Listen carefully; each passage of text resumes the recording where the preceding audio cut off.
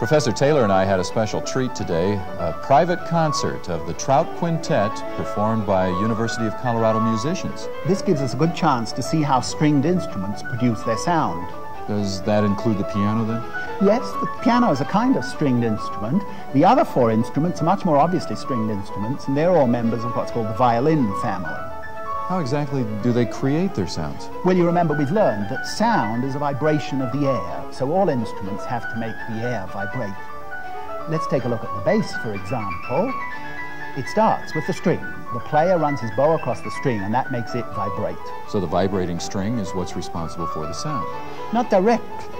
Uh, the vibrating string is attached to the main body of the instrument, which is a great wooden box, and the string vibrating makes the box vibrate, which makes the air vibrate, and that's the sound. And why are the members of the violin family different sizes? Well, that's a good question. It turns out that the smaller instruments play a higher pitch, but we'll talk more about that tomorrow. Right now, let's take a look at the piano.